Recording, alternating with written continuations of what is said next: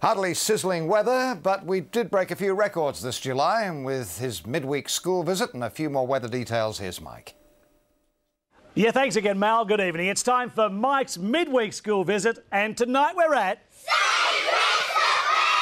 Primary School in downtown Airport West. Year two are learning all about the weather and as well as kids waving. I'm surrounded by kids who are dressed up for the occasion. In winter, they're dressing for summer. In summer, perhaps dressing for winter. And we even tonight have some musical entertainment in the way of violins on my right hand side for you.